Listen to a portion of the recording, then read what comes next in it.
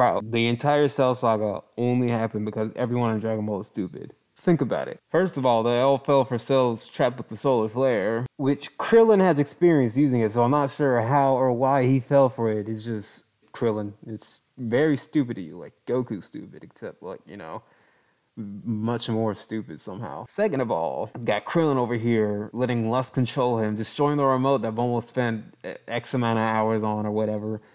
Uh, so Cell could absorb Android 18. Third of all, Vegeta let him do it because of his pride and all that crap.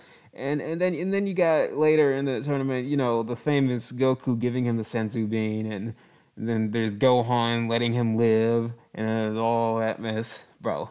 Everyone in Dragon Ball is stupid, bro. Even Bulma to an extent, at least in that arc. Like when she decided to just appear when they were fighting Dr. Gero and Trunks appeared, she just decided to appear with her baby, letting uh, Dr. Gero, Gero, Gero, whatever you want to call him, escape.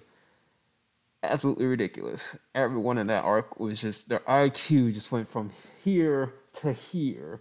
You, you can't even see it on the screen because that's how low it went for that arc. Unfortunate. They literally killed all the characters in the Saiyan Saga. They metaphorically killed them all in the Cell Saga absolutely ridiculous. You don't even get me started with Trunks warning them about the wrong androids. Who nah.